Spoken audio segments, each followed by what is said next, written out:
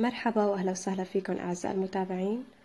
وصفتنا لليوم رح تكون معمول الطحين هاي الوصفة اللي كتير طلبتوها مني على حساب الإنستغرام. اليوم إن شاء الله رح لبي طلبكم.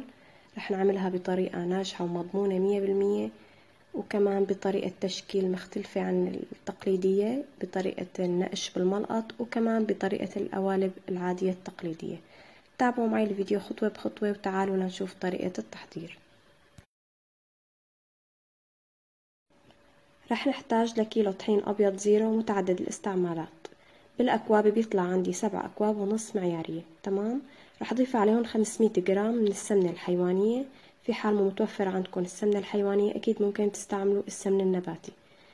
الكمية السمنة بالأكواب كوبين ونص معياري. بالنسبة للسمنة لازم تكون بحرارة المطبخ أو مائلة للبرودة. هلأ هو رح أخلط السمنة مع الطحين كتير منيح. لحتى يتشرب الطحين كل كمية السمنة. لازم نعجن بشكل جيد لحتى تتشكل عنا عجينة. وهيك بنكون انتهينا من المرحلة الأولى للعجين. هلأ رح أحطها بالبراد طبعا بدي أغطيها واتركها لمدة ساعتين.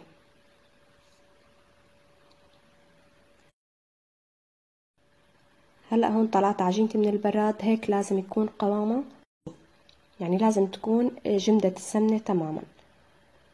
هلأ بعد هيك رح أعجنها للمرة الثانية لازم تنعجن بشكل كتير منيح لحتى تصير عندي قوامة كريمي. بنفس الوقت لازم تتم باردة ما لازم تسخن بإيدينا.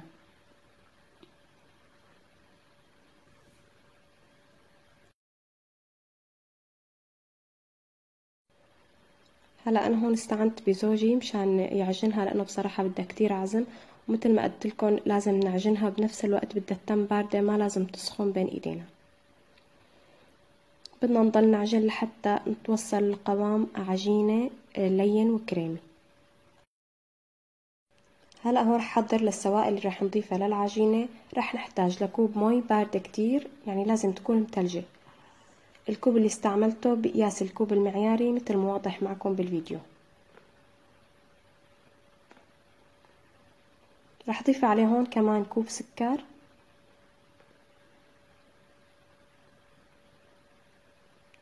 كمان ثلاث معالق قطر تقيل وبارد.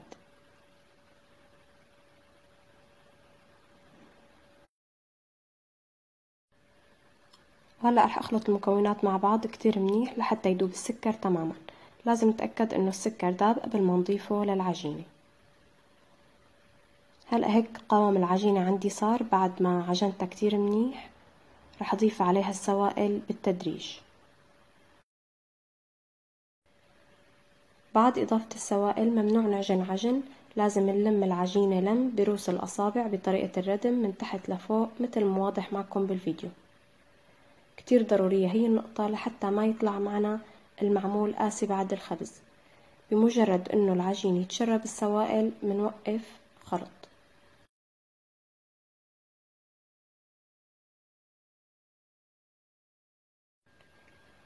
هيك بيكون شكل العجينة عنا بعد ما تشربت كل السائل بالبداية رح تكون طرية وبتلزق باليد بس بعد ما نريحها رح ترجع تتماسك تمام. هلأ رح ريحها بالبراد لمدة نص ساعة أو ساعة وبهالوقت رح أحضر للحشوات بالنسبة لحشوة الفستق رح نحتاج لميتين جرام من الفستق الحلبي المفروم. رح أضيف عليهم بالبداية ثلاث معالق كبار من القطر البارد. رح أضيف كمان معلقة كبيرة من الماء الزهر. يلي ما بحب إضافة ماء الزهر ممكن تستبدلوه بالماء العادي. كمان معلقة كبيرة من السكر البودرة ورح أخلطهم مع بعض. بعد هيك رح أعجنهم باليد كتير منيح لحتى يتماسكوا تمام. إذا شفتوا لسه ما تماسكوا كمان ممكن نضيف لهم قطر لحد ما يصيروا عنا يتشكلوا مثل العجينة. هلأ هيك صاروا يتشكلوا عندي منيح. بآخر العجن رح نضيف معلقة صغيرة من السمنة. السمنة هون بتفيدني إنه ما تتلزق الحشوة بإيدي وقت أنا عم شكلها مشان هيك ضفتها بالأخير. هلا هيك صاروا يتشكلوا معي كرات رح اشكلهم كرات بحسب حجم القالب يلي عندي. هيك بتكون صارت حشوة الفستق عنا جاهزة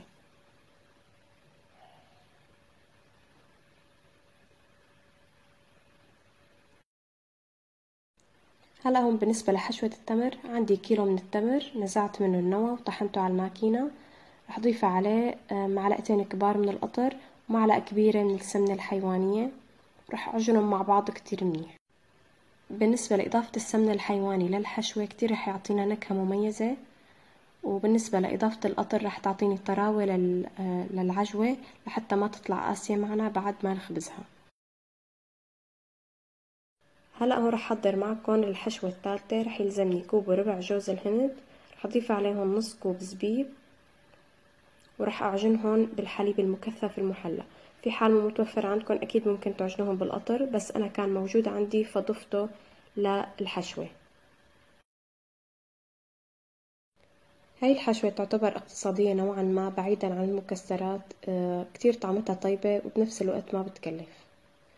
يعني إذا في حال مو قدرتنا إنه نشتري مكسرات أكيد ممكن آه، نتفنن بالحشوات. هلأ بآخر العجن رح أضيف كمان معلقة صغيرة سمنة. وبرجع بعجنهم مرة تانية لحتى يصيروا يتشكلوا معي بسهولة. هلأ هيك رح أشكلهم أصابع حسب حجم القطعة اللي بدي إياها وحسب الشكل يلي أنا بدي إياه. هيك بتكون صارت. حشوة جوز الهند عنا جاهزة هلأ هيك شكل عجينتي بعد ما طلعتها من البراد. لاحظوا كيف قوامها رائع جدا ما بتشقق. هيك لازم يكون عنا قوام العجين. رح اخد منها قطعة صغيرة ورح رجع باقي الكمية على البراد. واعذروني ما فيني اشتغل بالكفوف لأنه كتير بتلبك فيهم بشغل المعمول. هلا هون رح رش رشة بسيطة طحين على سطح العمل. بعدين رح آه رح أحط عليها العجينة ورح لفها رول بهذا الشكل.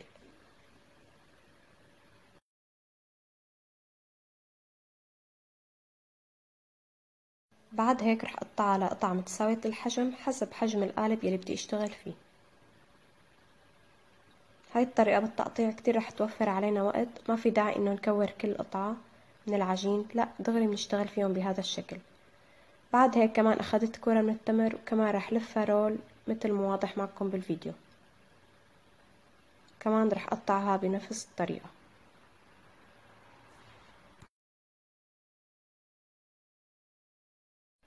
بالنسبة لطريقة التشكيل رح اخد كرة من العجين رح مدها. ورح اخد كمان كرة من التمر ورح مدها بهذا الشكل لحتى تتوزع بكل القالب هلأ رح اسكرها منيح. طبعا مكان التسكير لازم يكون لفوق. يعني لما بدنا نقلبها لازم يكون مكان التسكير لتحت تمام؟ هلأ رح أطبعها بالقالب بهذا الشكل. طبعا القالب بطنته برشة صغيرة من الطحين. ولما نشتغل بالعجينة باردة أبدا ما بتغلبنا بالشغل. كتير بتطلع الرسمة ممتازة.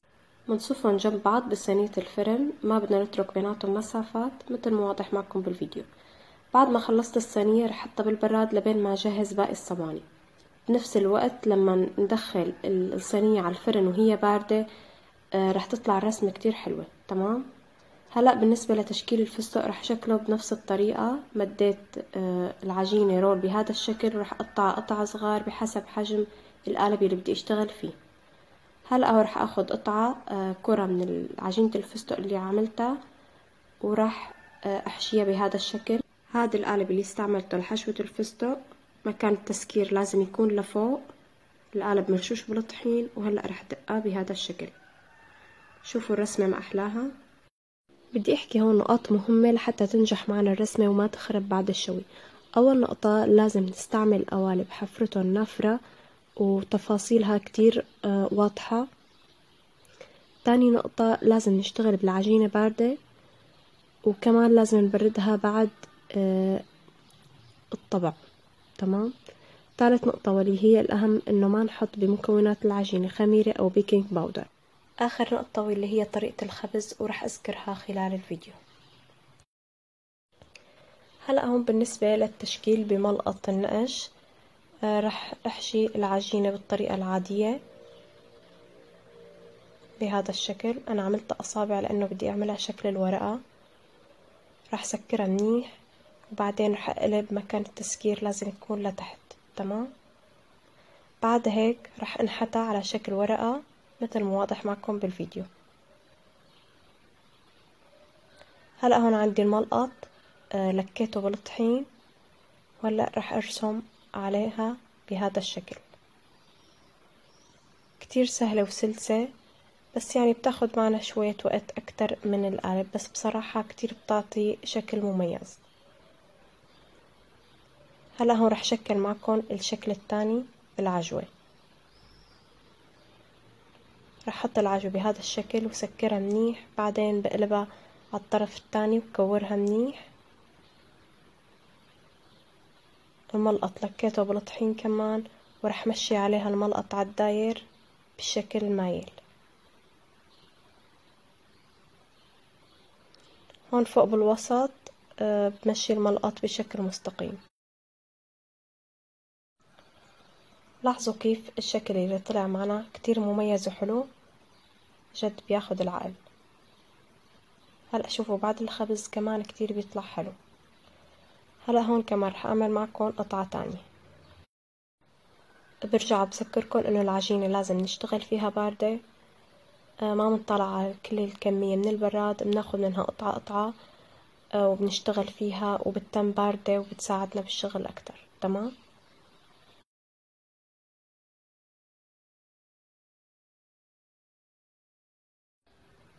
وهيك انتهت من تشكيل كل الكمية. طلعت عندي الكمية أربع صواني آه، مثل قياس الصينية الواضحة معكم بالفيديو.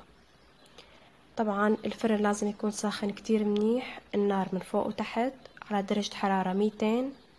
بالبداية بنحط الصينية على الرف الوسط الرف الوسط يلي أقرب للشواية من فوق. لما ياخدوا لون بننقلهن على الرف يلي تحت إذا كانوا بحاجة. بالكتير لازم ياخدوا عشر دقايق ما لازم نطول عليهم بالفرن. نقطة تانية لا تفتحوا عليهم الفرن كتير. وقت آه، الخبز حتى ما يحصل فيهم تشققات هاي الملاحظة كتير مهمة. وهيك بتكون وصفتي لليوم. صارت جاهزة. لاحظوا قلبهم من جوا كيف. هاي معمول الفستق. ما شاء الله شكله طعمه بياخد العقل. وهي كمان آه، معمول الجوز الهند والزبيب. كمان كتير طلعت الحشوة مميزة وطيبة. ولا أروع ولا أطيب من هيك وصفة بنصحكم تجربوها. آه، معمول بفتفت بدوب بالتم ذوبان ولا أطيب من هيك. جربوا الوصفة واتبعوا الملاحظات اللي ذكرتها بحذافيرها وإن شاء الله رح يطلع معكم معمول أطيب من الجاهز ورح تتباهوا فيه قدام ضيوفكم وهذا هو الفيديو لليوم بيكون خلاص بتمنى إنه يكون عجبكم إذا عجبكم الفيديو لا تنسوا اللايك للفيديو لدعم الفيديو اشتراك بقناتي على اليوتيوب مطبخ ليلى الشامي وتفعيل زر الجرس حتى يصلكم كل جديد. شكرا لحسن المتابعة والسلام عليكم.